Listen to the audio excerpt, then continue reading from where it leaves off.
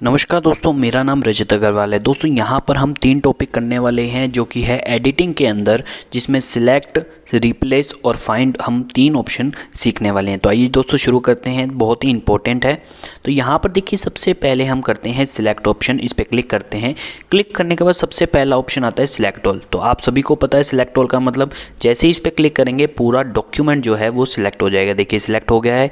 इसी तरीके से दूसरा ऑप्शन मिलता है सिलेक्ट ऑब्जेक्ट अब देखिए, आप अपने कर्सर को देखिए। हमारा जो कर्सर है वो इस तरीके से है, लेकिन अगर आप कोई ऑब्जेक्ट को सिलेक्ट करना चाहते हैं तो उस पर आपको क्या करना है? सिलेक्ट पे जाकर सिलेक्ट ऑब्जेक्ट वाले ऑप्शन पे क्लिक करना है। तो आइए इस पर क्लिक करते हैं। तो जैसे ही मैंने क्लिक किया, आप देख पा रहे हैं, हमारा जो कर्सर है वो सिलेक्ट वाले ऑप्शन पे आ गया। देख सकते हैं आप, पहले कौन सा कर्सर था, दूसरा कर्सर था, लेकिन अब ये सिलेक्टिंग पोजीशन में आ गया है। इसी तरीके से हम जो मेन जो हम इसमें करने वाले हैं, वो है select text with similar formatting ये सबसे इंपॉर्टेंट है, इसे समझना है। तो ये इसका मतलब क्या है? देखिए, इसका मतलब ये है कि जब आप कोई, मान लीजिए डॉक्यूमेंट लिखते हैं राइट उसमें आप डिफरेंट डिफरेंट तरह की फॉर्मेटिंग यूज़ करते हैं। अब आप ये चाहते हैं कि कोई पर्टिकुलर फॉर्मेटिंग के जितने भी वर्ड्स हैं या पैराग्राफ है, उन सबको मैं सिलेक्ट करना चाहता हूँ अलग से राइट तो उसे आप कैसे करेंगे? तो यहाँ पर देखिए, मान लीजिए मैंने यहाँ पर कई सारे वर्ड बोल्ड किए हैं राइट तो जैसे ये इग्नोर है हमारे सामने, इस पर मैं क्लिक करता हूँ और मैं इन, इसमें इग्नोर के अंदर बोल्ड किया हुआ है, यानी कि ये फॉर्मेटिंग के जितने भी वर्ड्स हैं पैराग्राफ हैं, मैं उन्हें पर्टिकुलरली सिलेक्ट करना चाहता हूँ तो मैंने इस पर क्लिक करा।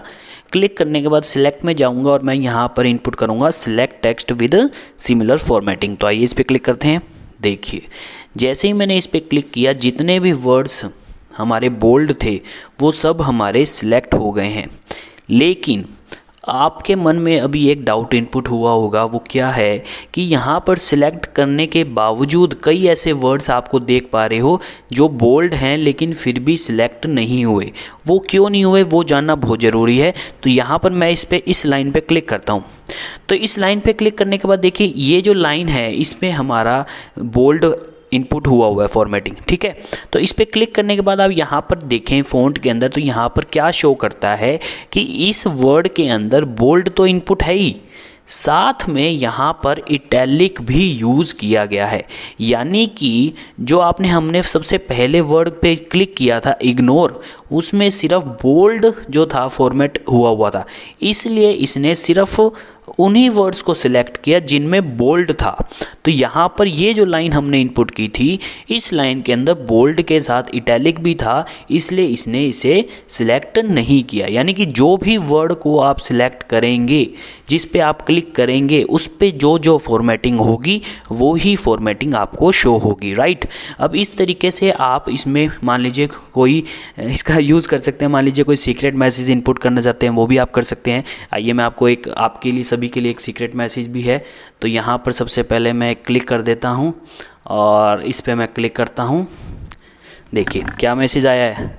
हैप्पी न्यू ईयर गाइज़ तो यहाँ पर आपको नए साल की बहुत बहुत शुभकामनाएँ। ये थोड़ा फ़न के लिए मैंने इनपुट किया था, ताकि नया विश की, नए साल की विश भी कर पाऊँ आपको तो आपका नया साल बहुत अच्छा जाए।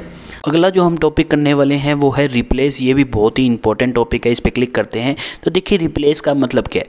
मान लीजिए आपने कोई डॉक्यूमेंट इनपुट किया राइट और उस डॉक्यूमेंट के अंदर आपको कोई पर्टिकुलर वर्ड को चेंज करना है। ज़्यादातर क्या होता है, नाम चेंज करने पड़ते हैं। आप कोई डॉक्यूमेंट इनपुट कर रहे होते हैं, लेकिन उसमें क्या जो गेस्ट है, वो चेंज हो गया, या कुछ भी हो सकता है तो आपको कोई चीज़ को चेंज करना है किसी वर्ड को। तो यहाँ पर आपको क्या करना है फाइंड वर्ड के अंदर लिखना है, जिस चीज़ को आप रिप्लेस करना चाहते हैं।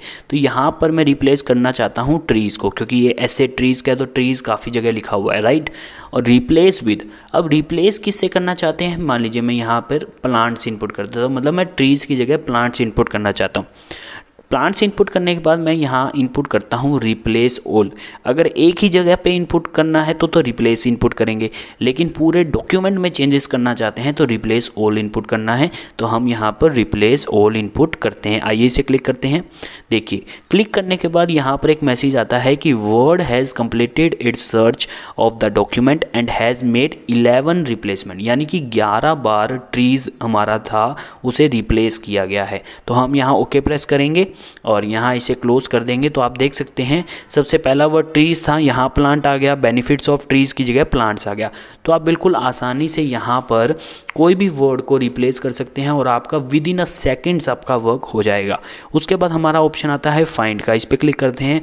अब अगर आप कोई डॉक्यूमेंट के अंदर कोई वर्ड ढूंढना चाहते हैं पर्टिकुलर और आपको मिल नहीं रहा, या आप उसको कुछ, उसमें आप इनपुट करना चाहते हैं या कोई सीक्रेट आपने इसमें इनपुट किया हुआ है, कोई मैसेज आपने इनपुट किया हुआ है तो आप उस वर्ड को ढूंढना चाहते हैं बहुत बड़े डॉक्यूमेंट में। तो मैं, मान लीजिए मैं यहाँ पर प्लांट्स को ढूंढना चाहता हूँ तो मैंने प्लांट्स इनपुट किया।